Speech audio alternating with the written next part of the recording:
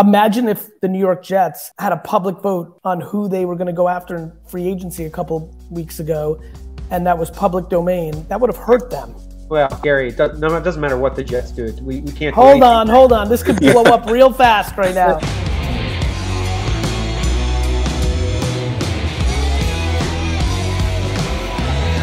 The GaryVee audio experience. Eben Preston, great to see you guys. Hope you're well. Uh, super excited about our collaboration and uh, the innovations we're doing in sports. Uh, for the people that don't know you guys, you want to give yourselves a, a, little intro here? Preston, why don't you go ahead? You're more exciting than I am. I don't know about that. Look, my background is somewhat in sports. I was a sports bettor for about a decade, and then I was a TV analyst on ESPN for a few years, and then actually left to prioritize Web3 last year in March um, and started Pixel Vault with the Punks Comic Project with Sean Girin.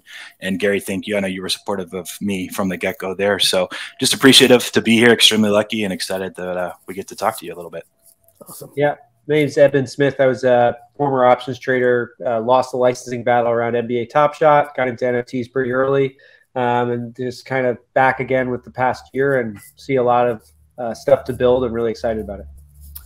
Um, What's the most exciting part of this project from your perspective?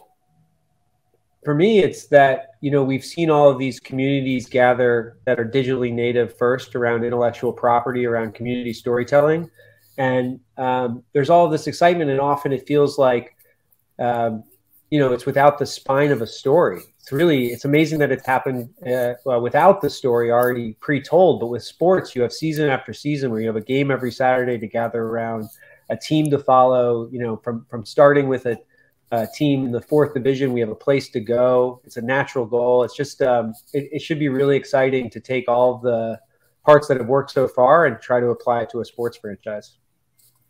Press yeah to go a step further i mean people have been talking about it online for seven eight months like hey we should buy a sports team or do something, right? And just the crypto Web three space as a whole. I'm excited about actually trying to do that, right? Like we got this club, we want to bring it to the people, and they can help us via digital first community stuff build it into something that's great um, that actually has a chance because I mean, you've done a great job of VeeFriends by the way of actually bringing utility and what Eben's alluding to 99% out there to say hey you might have a hoodie one day or a character in Decentraland like we have a sports club, right? We have a team. let's let's let's build from there. And so I think I think it's everyone's pretty excited because they've been asking for this anyway, and we've been able to kind of deliver also, at least so far. Yeah. Yeah, Gary, I, I, would actually be interested in what you have to say, but to me, it's like it's a blank space and figuring out what it means to have a digitally native community-owned sports team, right? That's so exactly like, what it is. It's. Uh, I mean, for me, for yeah. me, it's a clean canvas around an interest graph that I'm obsessed with. That can tap into new technologies to create new outcomes. Yeah, hundred percent. You know, this team um, has been bound by its region for 126 years, and they've they've gotten as high as League One, and there's uh, uh, there's really no pathway for them to grow beyond that if if they if they go the old-fashioned way. But we have the ability to try to find fans from all over the world with a new branding and with a new approach. And if we're successful at that, we're just going to have a, um, a much larger growth opportunity than the rest of the teams around us, and that should should lead to outsized outcomes, which will hopefully attract more fans. I mean, that's really what we're trying to do. When when your friends in real life hear a whiff of this, and they're like, "Wait, wait, what are you doing?" Because I wanted a lot of people to hear this. What um, how do you answer them? Preston.